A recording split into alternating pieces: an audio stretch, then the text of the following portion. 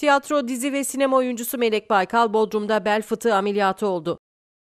Ferhunde Hanımlar dizisindeki Nermin, Hayat Bağları dizisindeki Nurhayat ve Cennet Mahallesi dizisindeki Pembe rolleriyle tanınan ünlü tiyatro, dizi ve sinema oyuncusu Melek Baykal, Bodrum Amerikan Hastanesi'nde bel fıtığı ameliyatı oldu.